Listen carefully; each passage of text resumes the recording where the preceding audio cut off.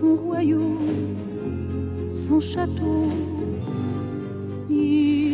Votre première rencontre... euh, Pardon, excusez-moi, je suis troublée parce qu'elle me regarde, elle lui ressemble à ce moment-là comme deux bouts d'eau. Là-bas,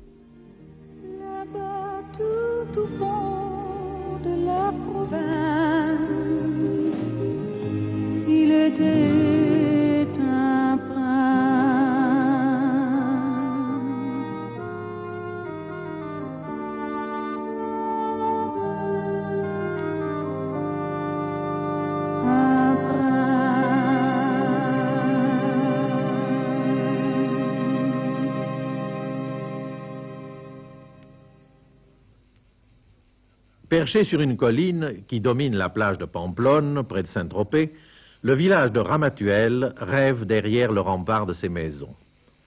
La légende raconte qu'avec l'aide des abeilles de ses ruches, il a chassé autrefois l'envahisseur sarrasin. Et dans les rues de Ramatuelle, une jeune femme de 24 ans, c'est Anne-Marie, la fille de Gérard Philippe. Ramatuelle, c'est depuis son enfance le village des vacances, et son père dort dans le petit cimetière voisin. Et à travers les rues de soleil et d'ombre, Anne-Marie essaie de retrouver le portrait de ce père célèbre, disparu il y a 20 ans. Vous comprenez, il est très difficile de parler de votre père parce que c'est une personne absolument euh, exceptionnelle. Je veux dire que ce magnétisme, euh, ce pouvoir d'incarner des personnages échappe à la parole, échappe au raisonnement. C'était absolument miraculeux à regarder parce qu'il y avait une très grande différence entre euh, la mise en place, la répétition, et le moment où il jouait vraiment devant le public, ou bien le moment où la caméra tournait. Il faisait penser comme comparaison, euh, pour moi, il était un conquérant, et la partie de la répétition, c'est un peu comme si le conquérant futur se déguisait en mendiant pour repérer un peu les lieux de sa future conquête. Il ne se donnait pas et il était là, attentif.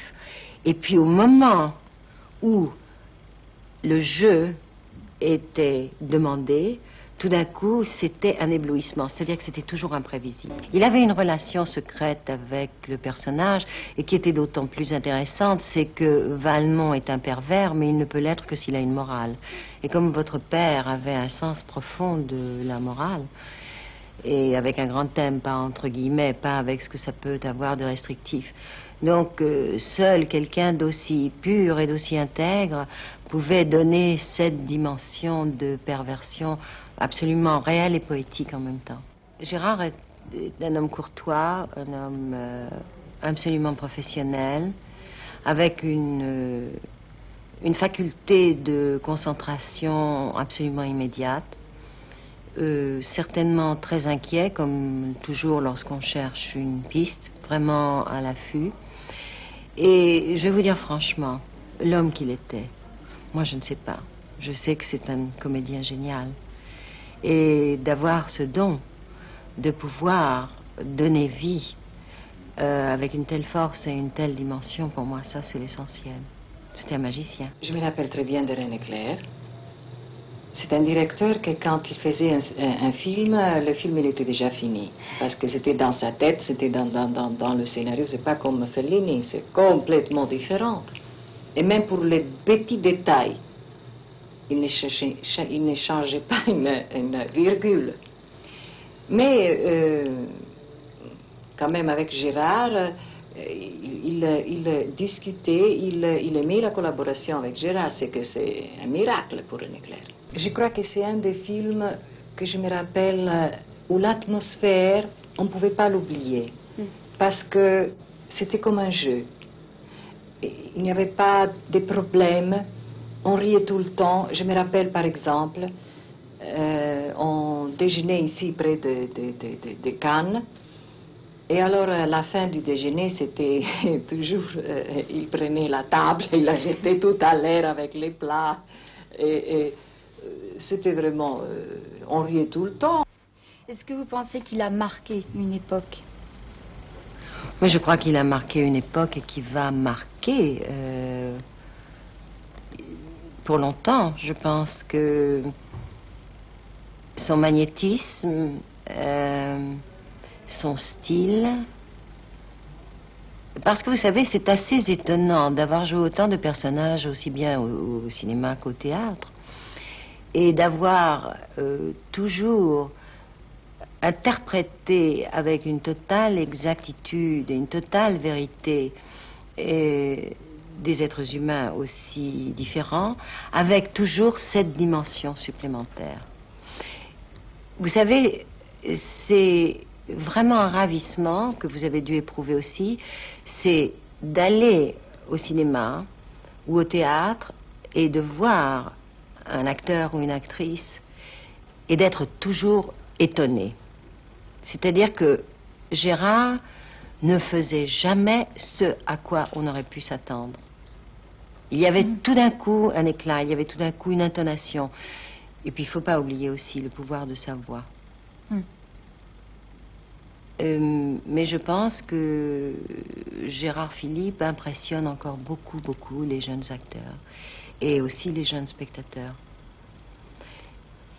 Par exemple, euh, on parle beaucoup de la folie provoquée par les chanteurs de rock.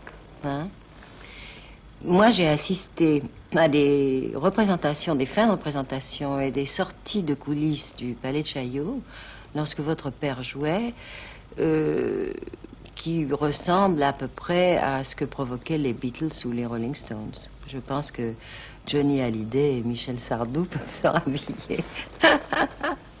Vous ne pouvez pas savoir, c'était la folie. L'impudeur des spectatrices de tous les âges. Dans les couloirs du conservatoire, on ne parlait que de Gérard Philippe. Il était euh, l'être euh, miraculeux. Et sa présence était absolument euh, incroyable. Et je l'ai vu rencontré avec Jean Villard, plusieurs années après. J'étais déjà pensionnaire de la comédie française. Et je connaissais Jean Villard, puisque c'est avec lui que j'avais joué pour la première fois à la comédie, le premier festival d'Avignon en 47. Et tous les deux sont venus me trouver dans les coulisses du français pour me parler de leur grand projet et de leur nouvelle association. Et euh, c'est à cause d'eux un peu que j'ai quitté la comédie française. Est-ce que vous vous souvenez de, de quelque chose chez lui, d'une manière, d'un geste, de... son, son rire. Il avait une façon de rire unique, vraiment contagieux et très gamin. Il était, il était père de famille aussi. Est-ce que, est-ce qu'il en parlait? Est-ce qu'il parlait de sa vie de famille? Non, c'était un homme très secret. Et ça nous arrangeait bien parce qu'on avait tous une adoration pour lui. Et il y a la contrepartie de l'adoration. On était assez jaloux. Et comme il passait beaucoup de temps avec nous au théâtre, ça nous suffisait. Et on aimait beaucoup cette, euh, cette discrétion. Il était un peu notre ange, alors ça nous intéressait pas de savoir qu'il était marié et qu'il avait des enfants. Donc vous avez vu ma mère de temps en temps, vraiment Oui, mais enfin, Je suis sûre qu'il aurait pris la place de Laurence Olivier, que c'est pour Mm. moi Mm. le, le- le dieu dans, dans- dans le jeu comme acteur. Il aurait pris sa place parce qu'à part euh, de sa spontanéité qu'il avait, il avait une force de communication, une sympathie.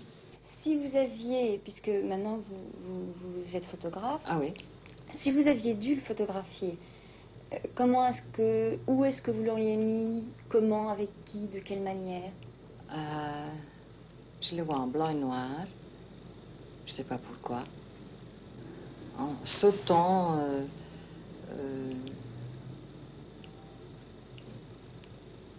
agile comme un, un, un- un gymnaste.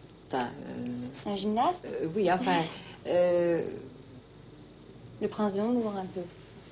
comme C'est dans des, des. Ol- Olympiques, euh, Hum. vous comprenez, je, je les vois comme ça. Ce qui me vient tout de suite, c'est le mouvement, la musique. Et il me fait penser à un oriflamme, pas